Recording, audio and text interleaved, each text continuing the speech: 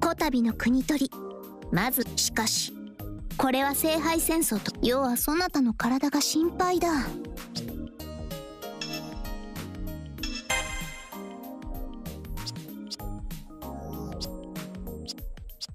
そそなたとよ。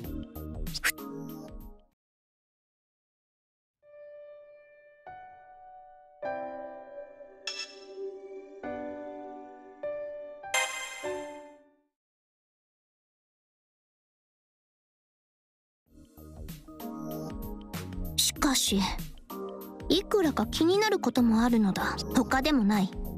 キャスターのもとにいる。2人目の奏者にうむ。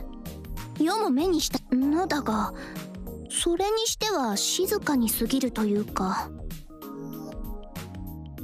悪辣極まるキャスターとはいえ奏者に対して呪術を仕掛けるほど己を見失ってはおるまい。いやないと思いたいのだがあやつめかつてないほど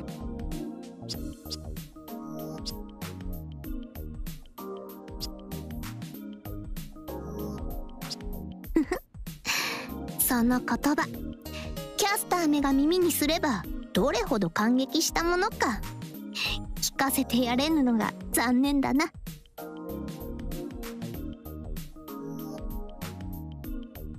し真相は闇の中だ。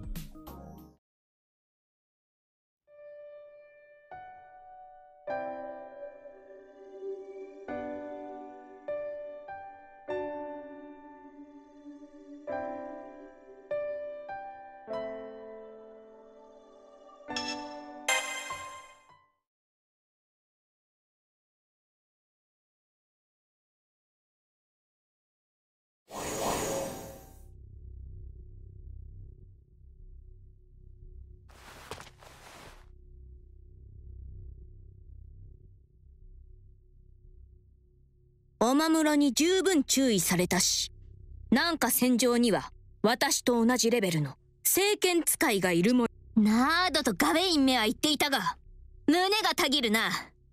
太陽を相手にするのはこれで二度目だ。アポロンの輝きと、そうであろう、奏者。世の輝き。